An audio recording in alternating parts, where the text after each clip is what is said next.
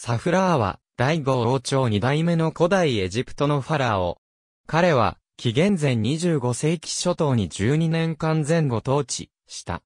サフラーはエジプト古王国の王の中で最も重要な王の一人であると考えられている。彼の知性は第五王朝の政治的、経済的な絶頂期であった。彼はおそらく前王、ウセルカフと王妃ネフェルヘテペスの息子であり、死後にその地位は、息子のネフェルイルからーカカイによって継承された。サフラーの在位中、エジプトは、レバント海岸と重要な貿易関係を持っていた。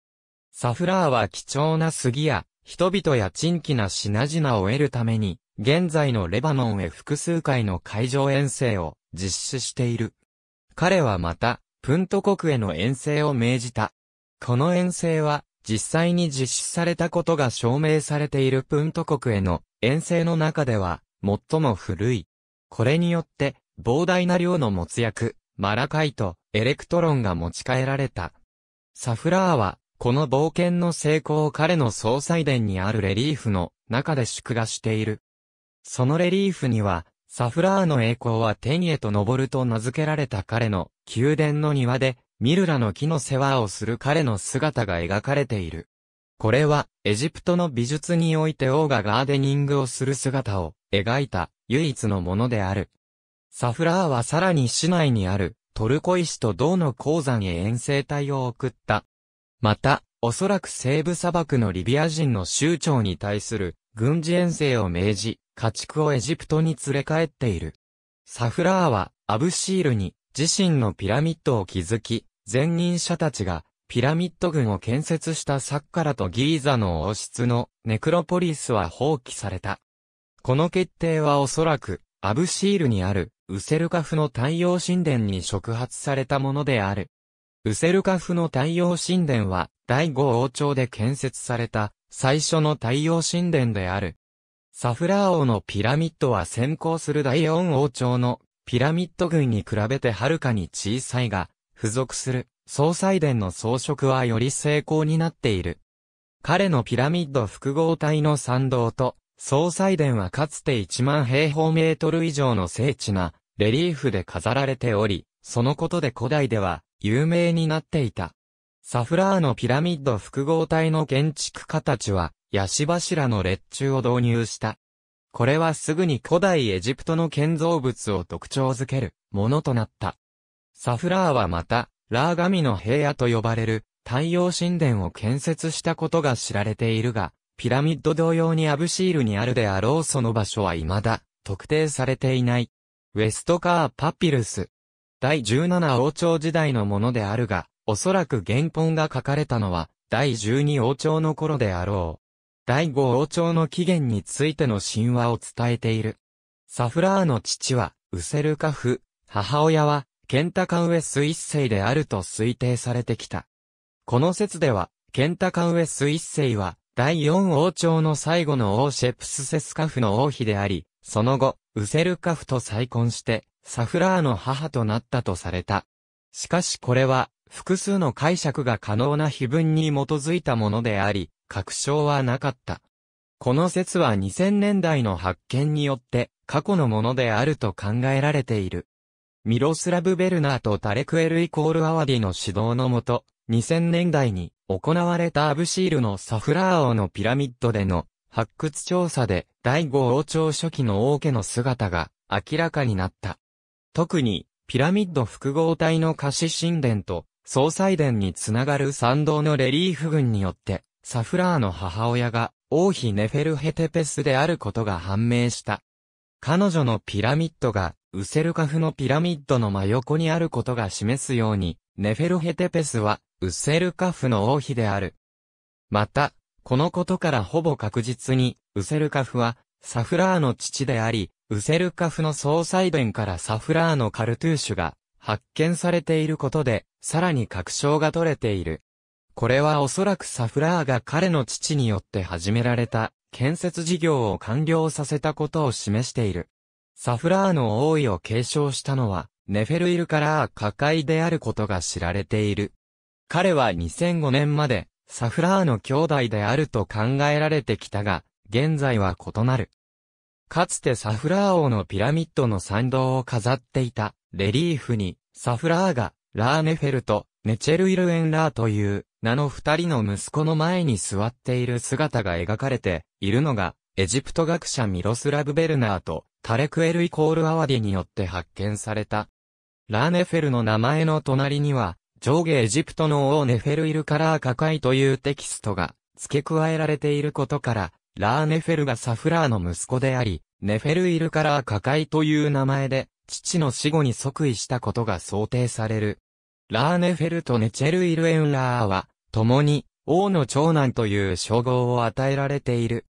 ベルナーとエルイコールアワディは、彼らがおそらく双子であり、ネチェルイルエンラーは、後に短期間王位を手にしたシェプセスカラーであろうと推測している。同じレリーフにはさらに王妃、メレトネブティが描かれている。故に彼女は、サフラーの配偶者であり、ラーネフェルとネチェルイルエンラーの母であろう。さらに三人の息子、ホルエムサフ、ハカラー、ネブアンクラーがサフラーの総裁殿のレリーフ群に描かれているが、彼らの母親は特定されていない。シリアから帰還するエジプト戦を描いたサフラーの総裁殿のレリーフ。サフラーの相対年代は歴史的記録と同時代の製品により十分に確立されている。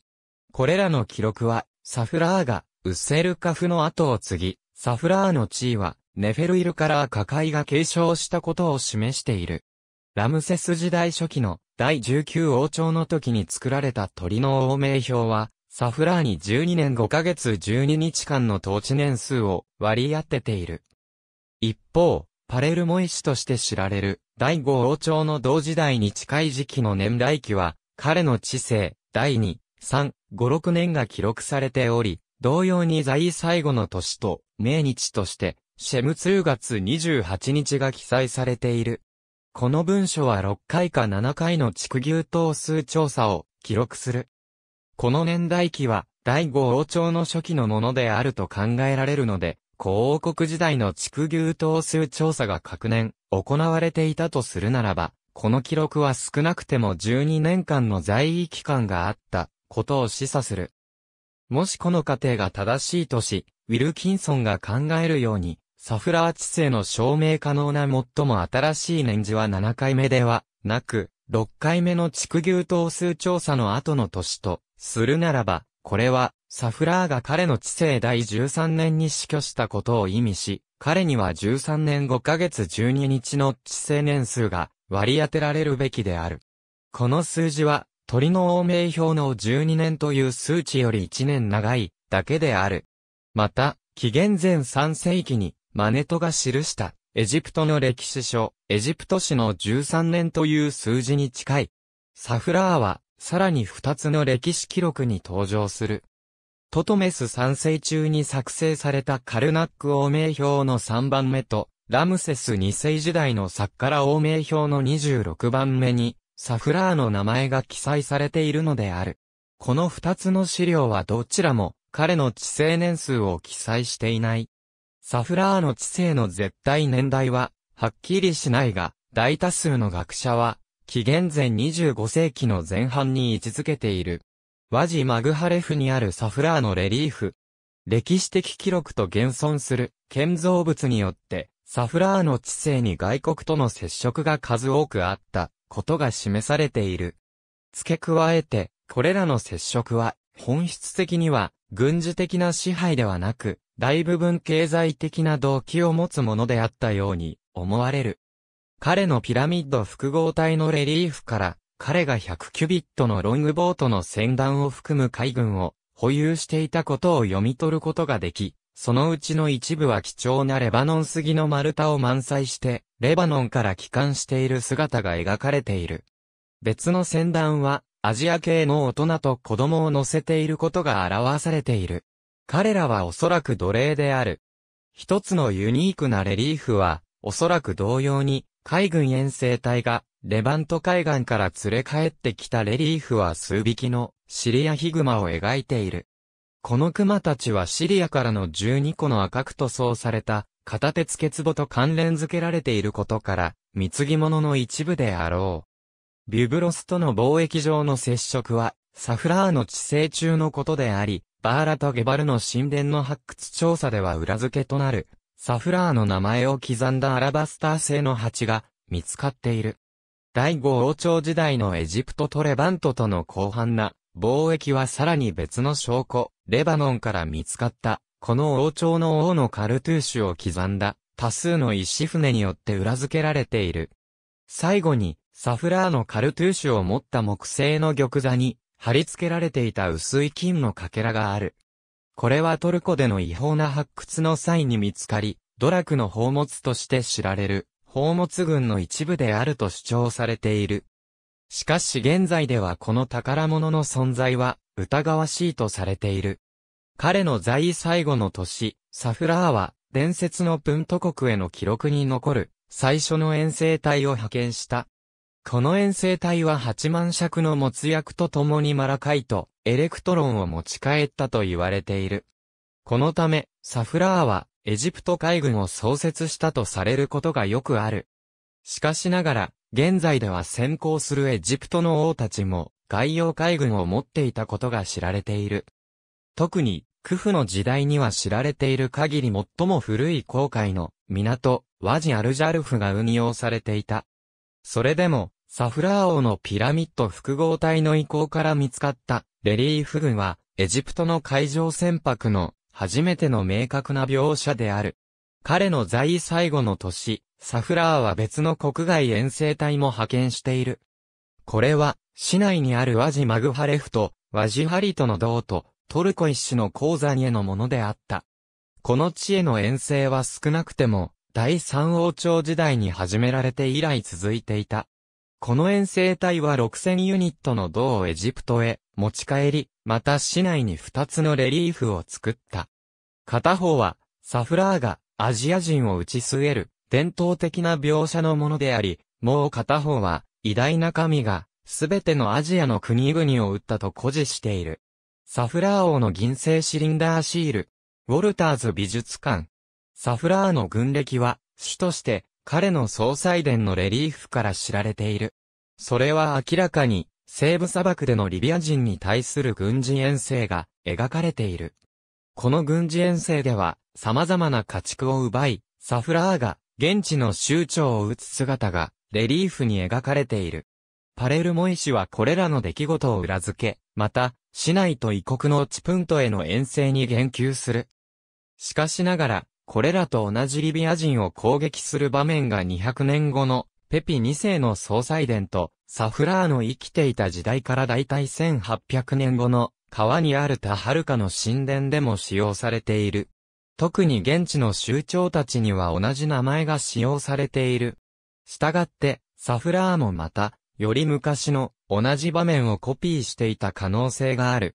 パレルモ石に記録されているエジプト国内でのサフラーの行動の大半は、本質的に宗教に関するものである。石は、彼の治世第5年のおそらく、ヘリオポリスの聖なる橋家の建設と王によって定められた、ラー、ハトホル、ネクベト、ウアジェトに対する日々の供物の正確な量、そして様々な神殿への寄進について述べている。考古学的な証拠は、サフラーの建築活動が彼は、自身のピラミッドを建設したアブシールに集中していることを示している。そのすぐそばにおそらく彼の太陽神殿が位置していた。この太陽神殿は第五王朝時代に作られた2番目の太陽神殿であり、未だ位置が特定されていない。その神殿はパレルモ石にある封建碑文で知られており、セケトラーと呼ばれていた。これはラーの平野という意味である。かつて神殿を飾ったレリーフのある石灰岩のブロックがわずかにサフラーの四代後の後継者ニューセルラーの葬祭殿に埋め込まれているのが発見されている。これは石灰岩のブロックが太陽神殿の建設時に残っていたか、あるいはそれが未完成であったためニューセルラーがサフラーの神殿を建設資材の採石場として利用していたことを示している。サフラーのウェトジェス・ネフェル・サフラーと呼ばれていた王宮は、2011年2月に、ネフェルエフラーの総裁殿で発見されたヘッドの容器に刻まれた碑文から知られている。その神殿はおそらくアブシール湖の湖岸にあった。エルカブでは2015年に王の名前を持つ彫像の断片が発見された。南エジプト、シモヌビアのアブシンベルの北西にある戦力岩の採石場でサフラーの名前がある碑文が発見された。さらに、南でもサフラーのカルトゥーシュが、トゥマスの落書きやナイル川第二球端の部辺で、発見された陰影から見つかっている。サフラーのピラミッド跡を、ピラミッドの参道から見るサフラーの総裁複合体のシュピラミッドはその規模と品質におけるピラミッド建築の衰退を例示する。だが、付属する総裁殿は、その当時までに作られた最も洗練されたものであると考えられている。ヤシ柱の使用のような多くの建築的革新により、サフラーの複合体の全体的なレイアウトは、サフラーの治世以後、古王国の終焉まで300年余りにわたり、総裁複合体建築のテンプレートとなった。サフラーは、彼のピラミッドの建設場所にヤブシールを選んだ。これによってその時まで、王家のネクロポリスであったサッカラとギーザはいずれも放棄された。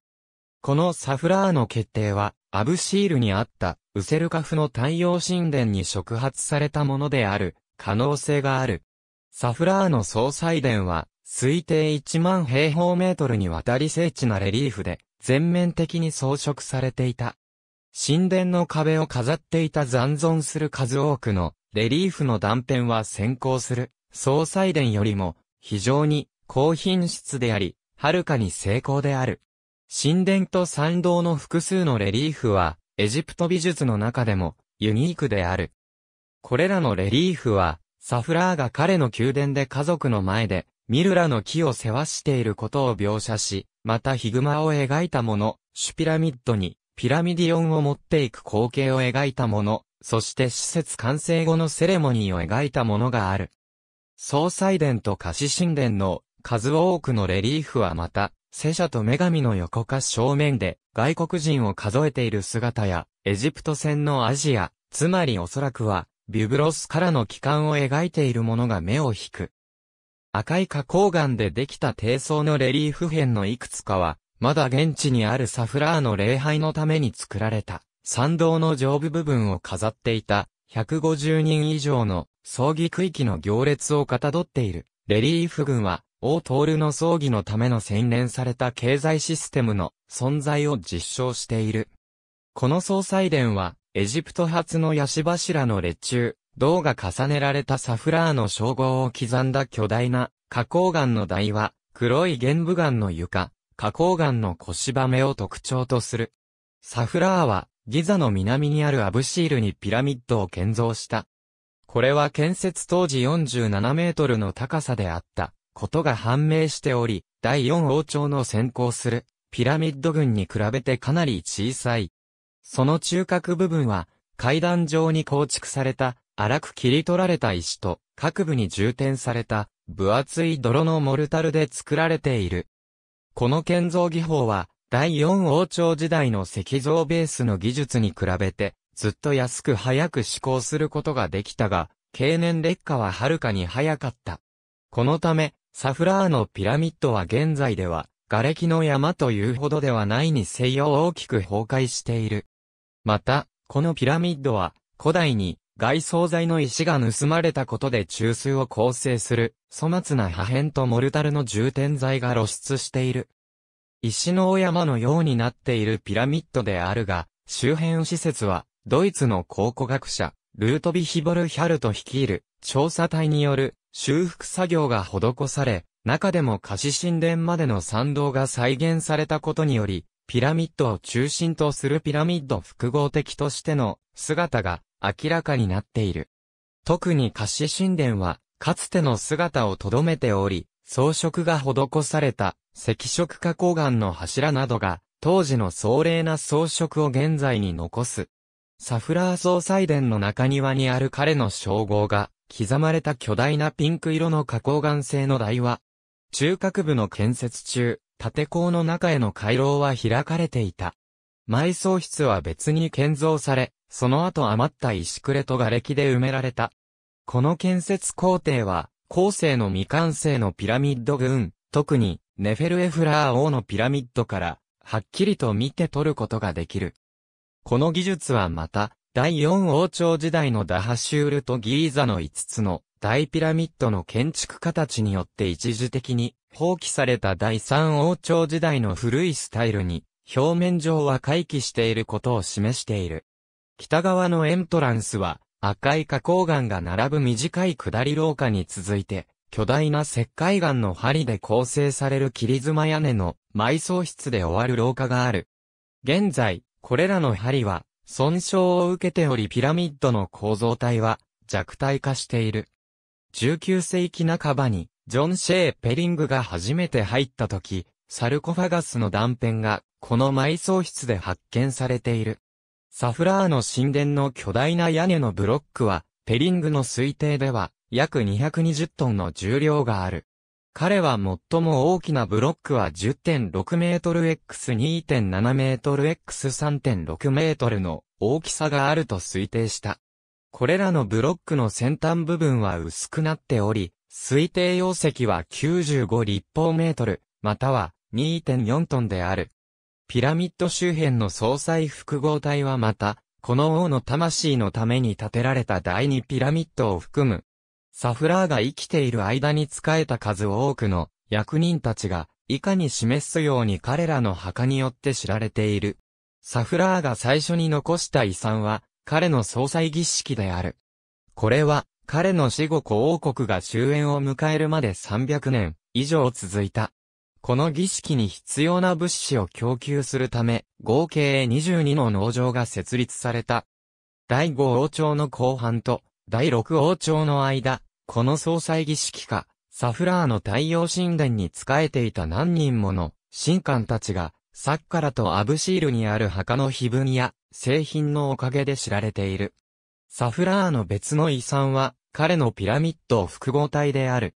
そのレイアウトはその後の古王国のピラミッド、複合体のテンプレートとなり、ヤシ柱のような建築要素は、エジプト建築の特徴となった。セムセルト一世によって建造が命じられた玉座に、座るサフラーの像。第十二王朝の初期、中央国時代が始まった時、ファラオセンウセルト一世は、サフラーの像を作らせた。